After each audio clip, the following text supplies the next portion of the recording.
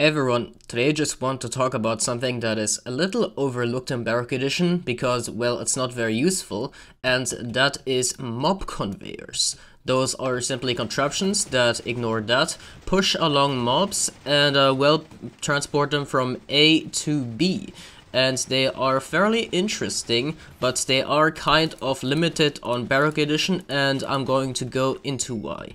Now this particular model right here, and another one that I'm going to show you later, are 6.6 .6 blocks per second, and I believe that is about the fastest you can go with mob conveyors in Bedrock Edition, because in Java Edition you may be able to get up to 20 blocks per second, I think that's what I saw, but it's okay because mob conveyors are not very useful anyway, and it's still a cool thing to have, and I will of course show you some neat applications for those.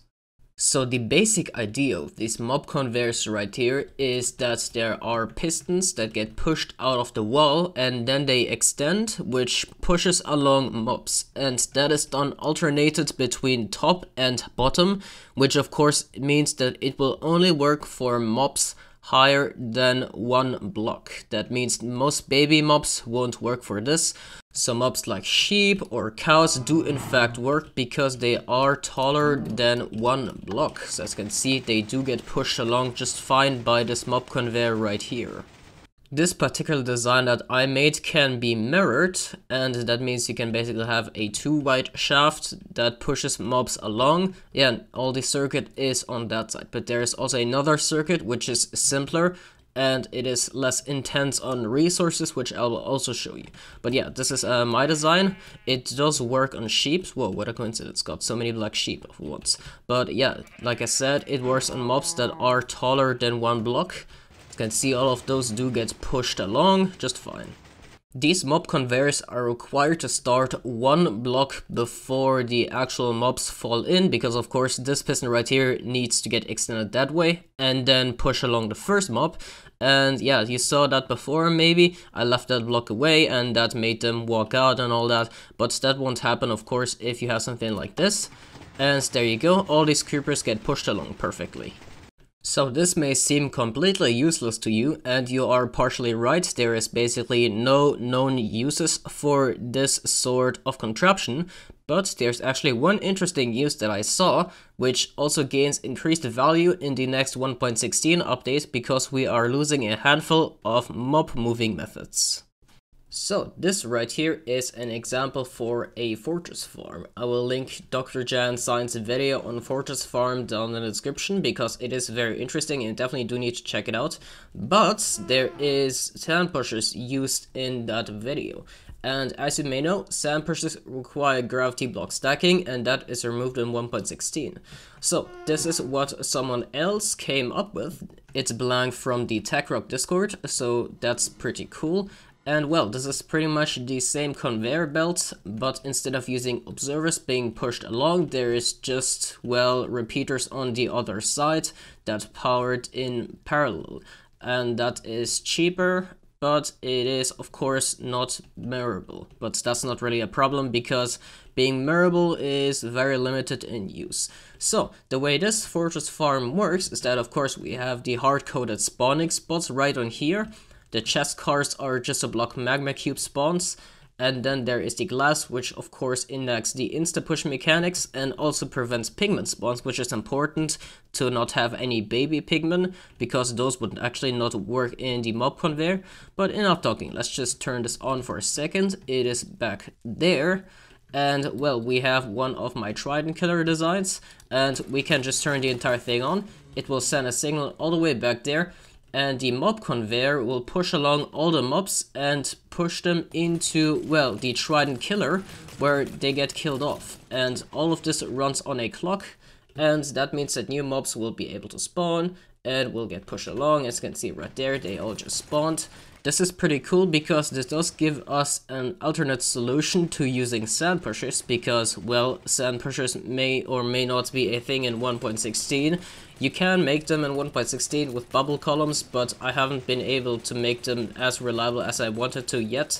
But uh, yeah, it's definitely a thing to use these mob conveyors, especially for fortress farms, and I think that is one great use for it. There might be other uses that I'm not very aware of, but that's all up to you to find out. So once again, Dr. JanCyan, very cool fortress farm, link in description. And Blanc from the TechRock Discord, thank you very much as well, because this is pretty awesome. And uh, I wouldn't have thought of covering mob conveyors before that in the first place. Also, can we just take a moment to appreciate how cool it looks when these mobs just get pushed all into one spot and then, well, land all in the Trident Killer? It's really awesome. So I'm just going to very briefly show you how to build my model, it should be simple enough, and for Blanc's model that is technically cheaper but cannot be mirrored, um, it's pretty easy to figure out, it's pretty much the same thing as mine right here, but well it is a little different because of course you have the repeaters on the other side. So for mine you would just have some sticky pistons facing outwards like this, and you would have solid blocks in between, then you would have more blocks like this, and pistons on top. This is because we do need a space for there to be a floor and the observers will of course power through that floor. And uh, well, of course you do need these pistons right here that will push and after placing repeaters on three ticks in between those blocks, that is also why this conveyor is 6.6 .6 blocks per second, because it takes 3 redstone ticks for 2 blocks, 3 game ticks per block on average, which of course is 6.6 .6 blocks per second, considering that there's 20 game ticks. And then we can just fill in the gaps in between those observers, as well as here, and there as well. On the back side here, we can fill everything in as well. And then we would just have some more sticky pistons facing this direction, which look all like this. We can have some observers facing downwards, not sideways. We would have them facing downwards so that they, of course, power all the pistons. And a gap is not necessary here because, of course, we don't explicitly need a ceiling, but we do need a floor. Then we can just fill in all of that. And on the back side, we can just have a line right here, then some solid blocks, and redstone dust on top so that the repeaters do power both of the pistons. And then again, in between all those gaps, repeaters on three ticks. Then for the proper offset, you just add a block at the beginning and you add a repeater on two ticks then you can just hook both of those up. It's pretty simple. You just have some redstone dust and then you can, well, hook it up wherever you want. I'm just gonna do something like this and then have a button right here. That should be the entire thing working, except of course that we need a floor and you can just add in that floor. And one thing you do need to make sure you have is immovable blocks at the end, because these pistons do receive a pulse when they get retracted as well, and that can mess many things up, including this piston right here pushing all of those and that would not be very fun so just make sure to have immovable blocks at the end and as you can see that does work we can just test this out for a second we are going to fill all of that in and make sure that the mobs cannot walk out from here. By the way, you should not use this mob conveyor with one tall mobs anyway, so that one block gap won't be an issue. Let's just finish that off, and let's try it out. So, we can have some creepers. Let's get some creepers and spawn them in, and it works just fine. Everything gets pushed to that end, and yeah, that's pretty cool. Of course, you can expand this as far as you want, but you do need this type of circuit at the beginning and immovable blocks at the end. Oh, and if you want a two wide shaft that will convey mobs from A to B, you can simply mirror this, of course have a separate floor for that one, that would be too wide, and then just build the exact same thing on the other side. It's fairly simple. And just in case you're wondering, no this does not work well for players and that is because of two reasons.